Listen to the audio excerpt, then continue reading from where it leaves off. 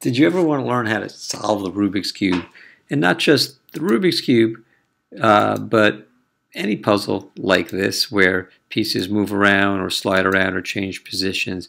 And to do it without a bunch of memorized patterns, but through just some fundamentals of how puzzles like this work. Well, this is a series of videos that takes you through starting with some very simple puzzles and building all the way up until the end, you could do a Rubik's Cube or 4x4 Rubik's Cube or you know any number of puzzles. It's all based on a type of math that's called group theory. And I'm going to take you through the fundamentals of this.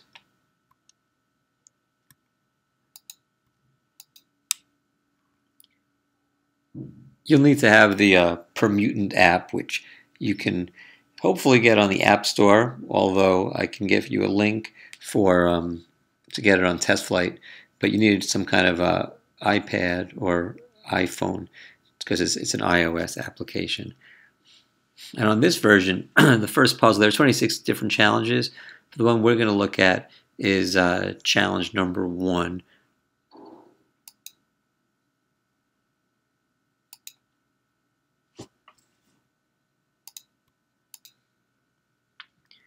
So to uh, get a feel for these puzzles, uh, challenge one is the most basic challenge, and the way it works is we have these 16 numbers arranged in a grid, and the goal is to get them in order. So it's 1, 2, 3, 4, 5, 6, 7, 8, 9, 10, 11, 12, 13, 14, 15, 16. Now, the movements, there's the, the moves you're, the move you're allowed to make is you can click on any two, any two things of the numbers and here I'm clicking on the 10 and the 16 and watch what it will do is it will swap their places. So now the 10's where the 16 was and the 16's where the 10 was. I could undo it or I could do it again and get back to the starting position. So I'm going to recommend that you just mess around with this riddle. You know you can click any two things and it will swap them.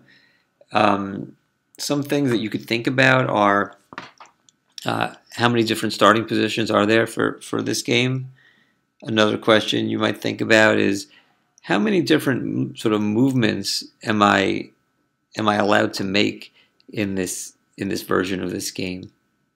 So those are things to think about. I'm going to recommend you. Uh, oh, and if you want to make your board look just like mine, because you probably have a random that's not this, if you push the custom button, you can then uh, click on the empty boxes and create this pattern so it sort of matches up. But why don't you take a few minutes to mess around with this riddle? Um, what do you think the minimum number of movements it takes to solve it? And just try to master challenge number one. Okay, so we're back. I'll give you some answers to some of these questions.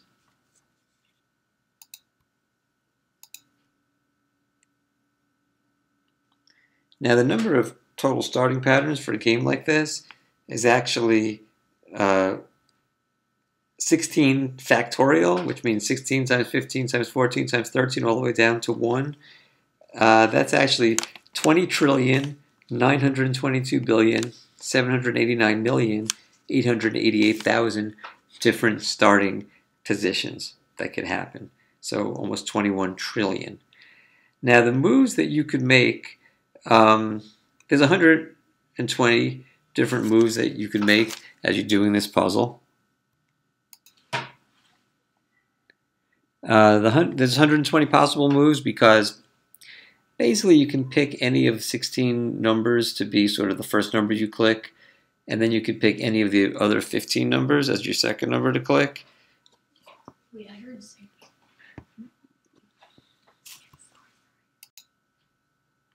If you do 16 uh, times 15, you get 240. Um, but whether you click like the number in position 1 and the number in position 3, or you click the number in position 3 and the number in position 1, those count as the same thing, so we need to divide by 2. So those are just some things. There's 120 moves that you can make. There's 21 trillion starting positions. Um, one way that you can always solve this puzzle is just to go one number at a time swap the number one into position one, swap the number two into position two, Maybe you'll get lucky some of them are already in their right position. Swap the number 3 into position 3, the number 4 into position 4, the number 5 into the position 5, 6 to 6, 7 to 7. Notice eight's already there. 9 goes to position 9. 10 goes to position 10. 11 was already there. 12 goes to position 12. And 13, 14, 15, and 16 are already there.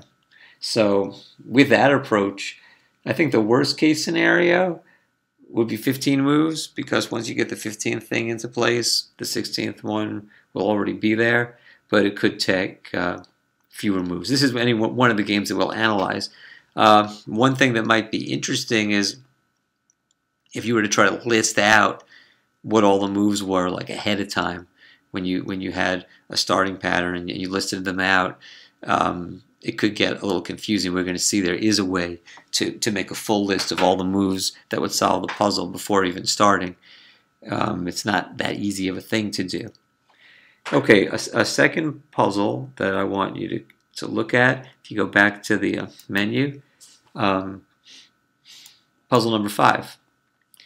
Now, puzzle number five looks a lot like puzzle number one. Still's got the 16 things.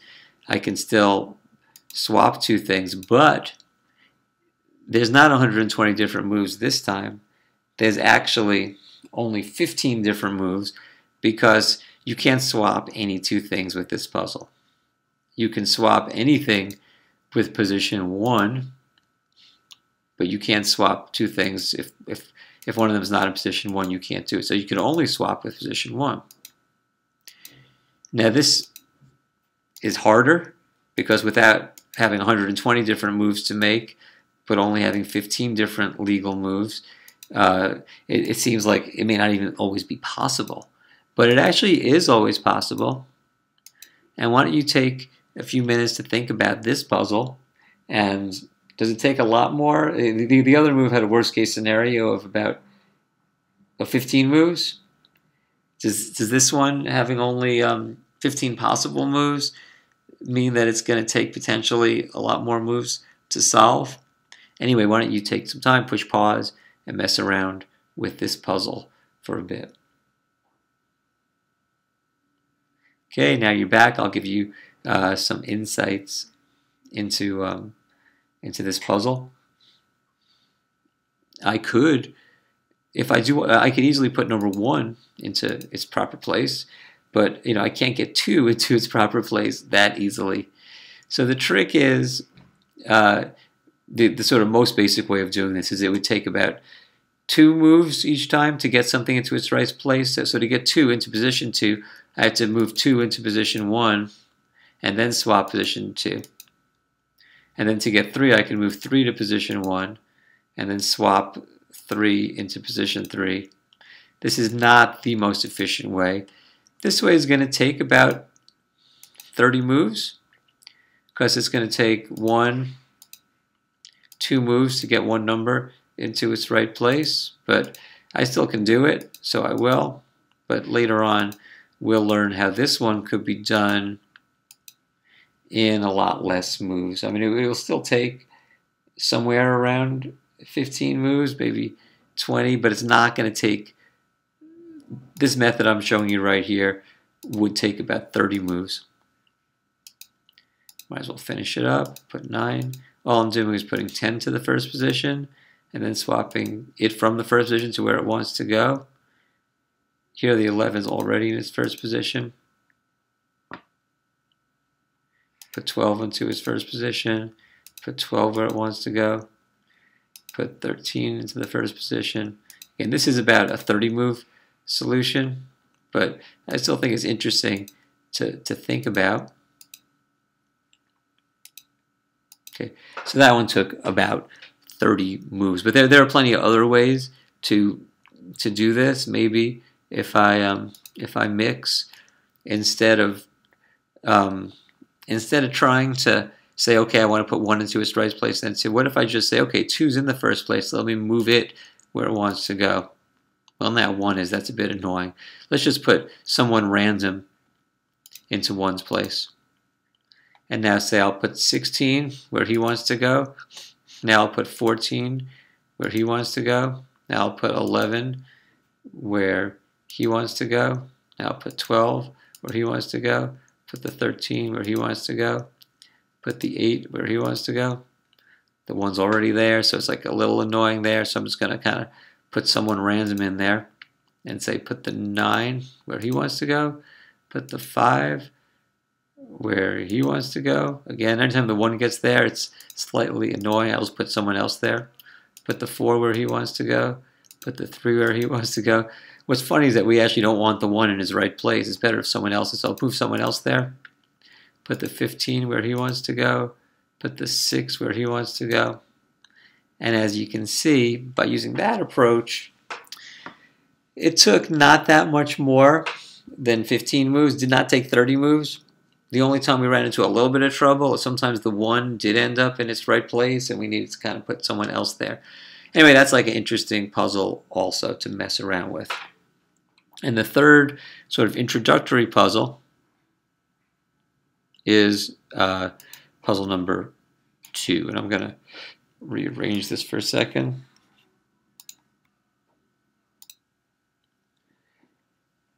Okay, I've rearranged this to have the same configuration as when I was doing uh, puzzle number one before.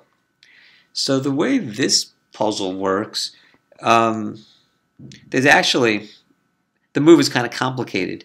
You can click on any three things, and when I click on this third one, what's going to happen is that the thing I clicked first is going to move to the position of the thing I click second, and the thing I click second will move to the position of the thing I click third, and the thing I click third will move to the position of where the thing I clicked first was. So when I click on this 4, the 10 is going to go where the 14 was, the 14 is going to go where the 4 is, and the 4 is going to go where the 10 is, and you can see that happens. So the order matters in this case. If I want to go back, I can just do it sort of counterclockwise. And you could take any three things and do this move with it. Um, this may seem like a harder puzzle. Actually, it's uh, it's easier in the sense that you can do it in fewer moves. There are actually 1,120 different moves that you could make. Any sort of, if you pick three things, even though not picking position two, position five, and position 10 is the same thing as picking like them in this order or them in this order. That's the same move but if I, I can go counterclockwise if I want. And there's so many ways to get three things that it's actually 1,120 different moves I'm allowed to make. Um, I'll tell you that this puzzle can be usually done in about eight moves. So why don't you mess around for a bit and see if you can find some strategies for that. You can pause now. Okay, now uh, you've unpaused. I'm going to give away a way I might solve this puzzle. Um, I'll go, I'll say, well, the 1 wants to go to this position, but there's already a 6 in that position, so where does 6 want to go? Well, 6 wants to go here. So when I do this, the 1 and the 6 will be in their proper places. Now this third thing, the 12, well, that's going to end up where the 1 was, so that's not in the right place. So, But I did end up getting two things into their right place, and I do the same thing here. 2 wants to go to 14, 14 wants to be here, so I've got the 2 and the 14 in the right place, and the 4 is not, but that's okay. I've now got four things in the right place. 3 wants to go to position 10, and 10 wants to go, 3 wants to go where the 10 is, and the 10 wants to go over here. 4 wants to go where the 12 is, the 12 wants to go here. So each time I'm getting two things in place. The 5 wants to go where 16 is, and the 16 wants to go where the 9 is. So by doing this, the 5 and the 16, so each time I'm getting one of these low numbers in and some other numbers. So 7 wants to go here, the 9 wants to go there. And now actually the puzzle's done. And it took less than 8 moves. So that puzzle, in, in, in one sense, is easier because it's faster. But in another sense, it's harder because what if I were to ask you to make a list of all the movements you have to make, like at the beginning, like give somebody a list, do these eight moves to solve it, and you weren't able to like do one at a time. Uh, that seems like it might be a little more complicated, but this is a faster puzzle. It takes fewer moves.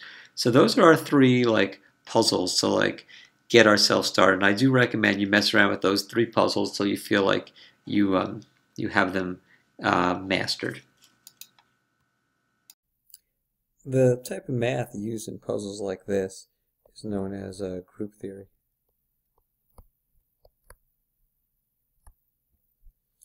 And for our purposes, I'm going to use like a like a simpler puzzle for now. What about what if instead of 16 squares, uh, there were only eight squares, and the squares were not arranged in a grid, but they were arranged sort of next to each other like this. So there were eight squares like this. And let's say I shuffle uh, the squares around so that now the board looks like this, 6, 1, 2, 3. Let's say squares get mixed up, so now they're like this. Uh, one thing you might notice is that some of the numbers might be in their original position still, like in this case, uh, the 7 still in its original position. Um, there are many ways that we can rearrange these eight squares, namely uh, 8 factorial, which is 8 times 7 times 6 times 5 times 4 times 3 times 2 times 1, which is actually 40,320. Well, that's a lot less than the 21 trillion ways for the puzzle with the 16 squares in it. I want to show you a few ways that we can describe how the numbers have changed, like now that they're in this state. I mean, one way is just to just give this picture.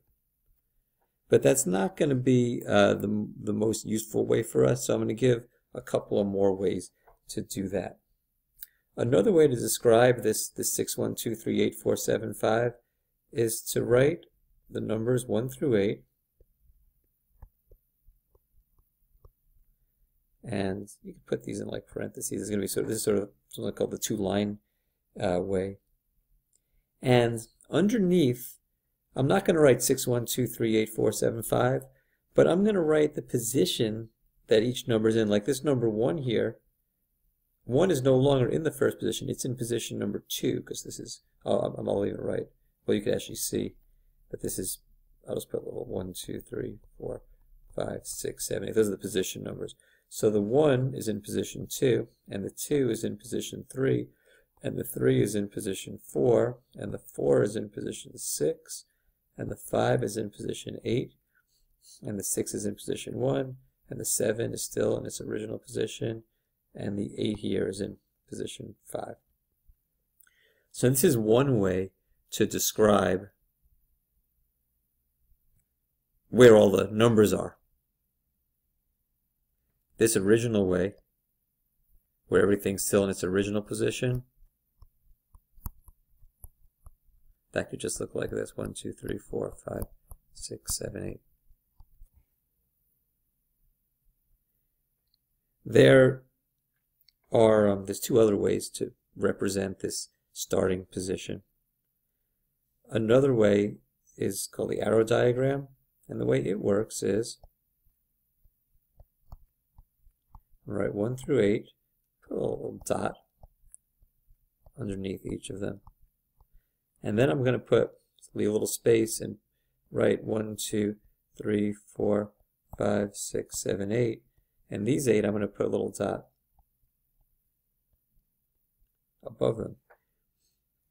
Now, going back to, to here, the um, the 1, actually I find the 1, the 1 is in position 2. So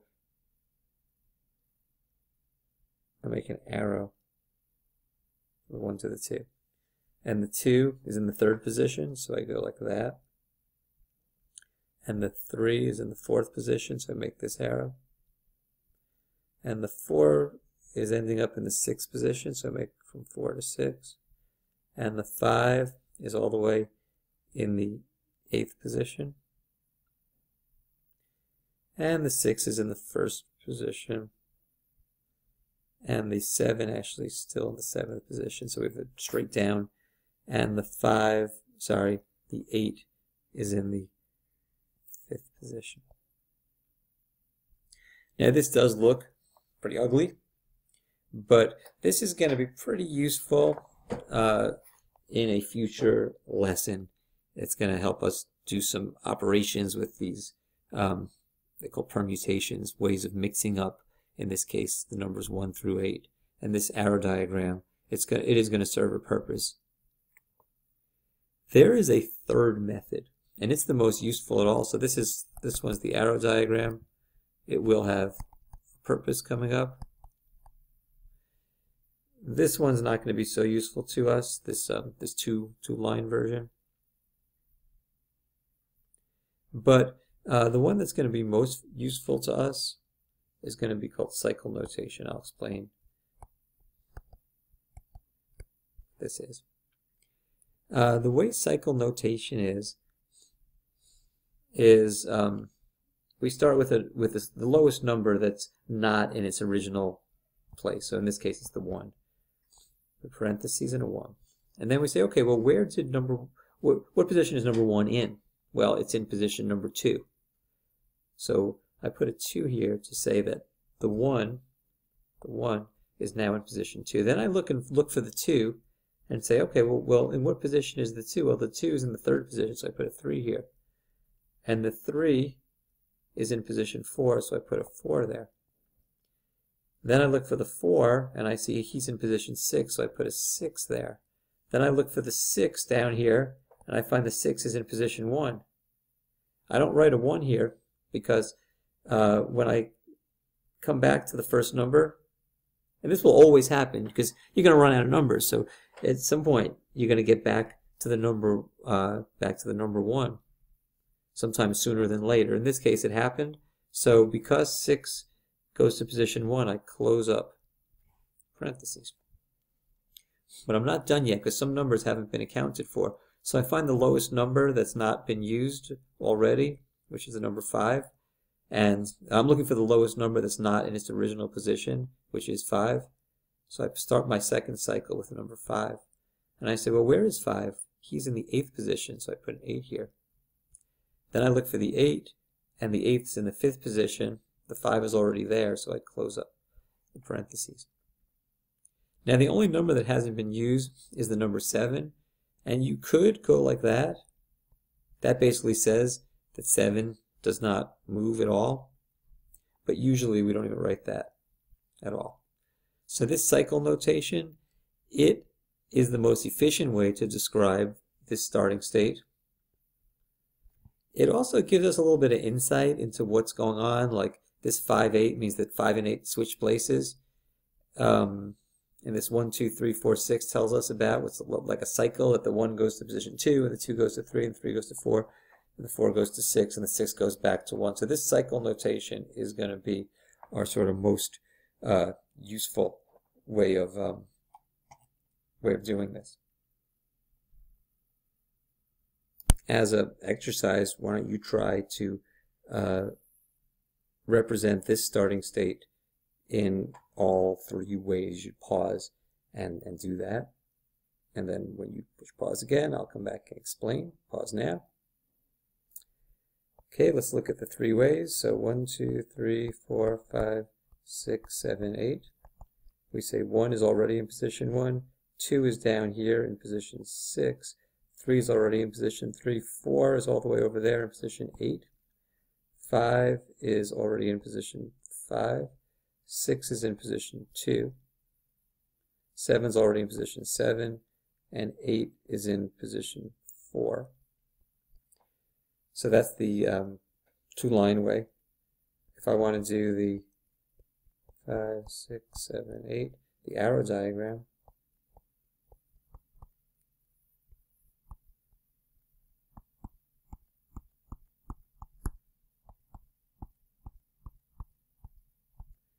Okay, so 1 stays at position 1, 2 goes all the way to 6, 3 stays in position 3, 4 goes all the way down to 8, 5 stays at 5, 6 goes back to 2, uh, 7 is in position 7, and the 8 here is in position 4. There's your arrow diagram. Uh, what's neat about this one is the cycle. The first number that's not in its original place is 2, and 2 goes to position 6, and 6 goes to position 2, which is the first number, so that cycle gets closed up. 3 is in its right place. The next number that's not in its right place is 4, so our second cycle starts with 4. And uh, 4 is in position 8, and 8 is in position 4. So this is a really, this thing is a really simple way of describing the starting state of this. And uh, this, any of these 40,000 ways of rearranging these eight numbers is called a permutation. Apply this way of describing the starting state to the puzzle we just did. I'm going to go right to the cycle notation. So the first number that's not in its right place is 1. The 1's all the way over here in position 15. And the 15 is over here in position 11. And I look for the 11 and he's over here in position 9. Whereas the 9's all the way over there in position 16. Whoops. Cycle's not done yet the 16 is over here in position 6. The 6 is over here in position 10. The 10 is over here in position 5. It doesn't seem like the cycle's ever going to end, but it will. The 5 is over here in position 13. The 13 is in position 2. And the 2 is in position 3, and 3 is in position 12, and 12 is in position 4. This is quite a big cycle. Hold on a second. Gives me a little more room. And the 4 is in position 1, which is number 1 begins the cycle. So this thing has a really long cycle. And it is funny how like it will it must come back to number one eventually because you will in the worst case scenario run out of numbers and have one uh, big cycle uh, it turns out that the um, the 7 the 8 and the 14 are actually already in their original positions so um, so this thing has this it's got this one giant cycle Okay, a good exercise is to try to do, this is the one that we had done uh, a couple of times in the, in the app itself. Let's see what happens. So the 1 is in position 4, and the 4 is in position 8, 9, 10, 11, and the 11 is in position 6, and the 6 is in position 1, so that's one cycle. Then I go for number 2 is not in its right place, but 2 is down here, in position 14, and 14 is there in position 5, and 5 is in position 7, and 7 is all the way here in position 12, and 12 is in position 9, and 9 is in position 2, which we already have. Uh, 3 is the next number that's not in its right place. 3 is all the way here in position 16.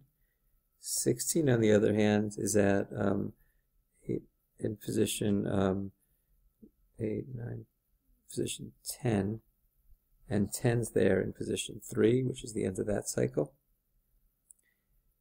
Uh, 8's already in his right place, so is 13 and 15, so I don't need to put those in at all. I could. It wouldn't be wrong to say that they're each sort of their own cycle, but it's usual to just not have those. So what we've seen is there are many, there are different ways to describe a permutation. A permutation is any sort of shuffling of things like this.